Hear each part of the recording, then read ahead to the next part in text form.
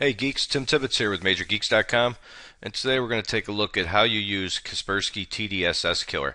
Essentially, this is an anti-rootkit tool. Rootkits can hide on the low level of your operating system. They can hide in places that you never see it. Typically, it takes advantage of vulnerabilities in your system, which is why we always say make sure you're up to date on your Windows updates. Known vulnerabilities are a place that people will look to insert malware into your system.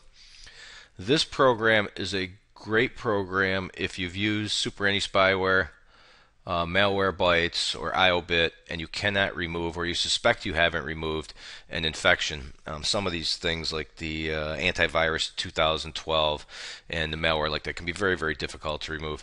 This is very quick. It's a portable utility, meaning you need no installation.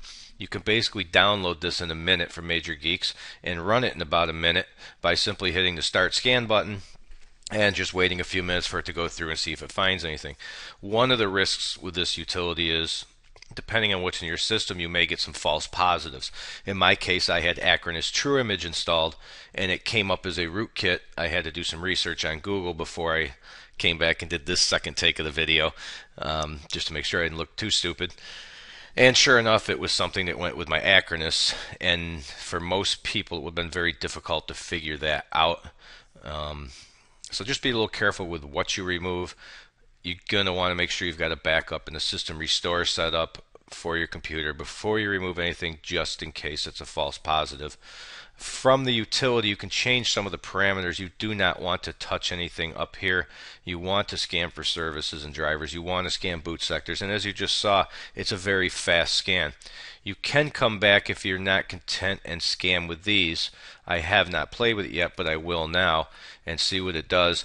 The problem with a verified driver digital signatures is that essentially requires that somebody submits their drivers to Microsoft and gets the AOK digital signature from them. Um, you, you might get more problems than that than not. I'm sure you've possibly installed drivers and seen those errors. It's, it's not a digitally signed driver. But as you can see, I still come up with nothing.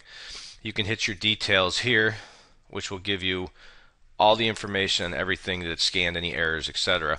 But for a more full detailed report, you can click here and it'll give you all the information on what it scanned, time it scanned, and obviously the final results.